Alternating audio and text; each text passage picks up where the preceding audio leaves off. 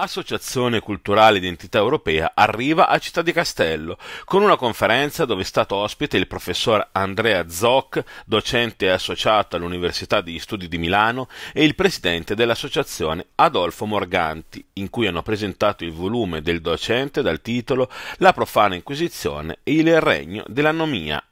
Culture woke, identity politics, ideologia gender, cultura del politicamente corretto sono alcune delle espressioni utilizzate per identificare uno stesso movimento culturale, nato all'indomani del 1968 e diffusosi poi nel mondo occidentale. E sono questi gli argomenti che sono stati al centro del summit con il docente universitario. Il libro cerca di tratteggiare un, formulare un quadro intorno al politicamente corretto e all'ideologia woke, quindi a quelle componenti culturali che hanno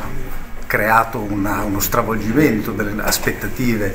eh, medie intorno a tematiche come la sessualità, eh, l'identità di genere, eccetera, sono, che sono al, al, centro del dibattito contemporaneo e che credo meritino una trattazione più seria di quella che generalmente troviamo sui giornali. E, e altrove. Ma credo che francamente abbia portato esclusivamente problematicità, nel senso che si tratta di una forma di irreggimentazione del discorso pubblico e di eh, esercizio di censura ed autocensura che ha creato essenzialmente come unico effetto reale una forma di repressione del discorso una forma di eh, controllo e di esercizio di controllo dall'alto eh, rispetto a chi può o non può parlare, chi può dire qualcosa, chi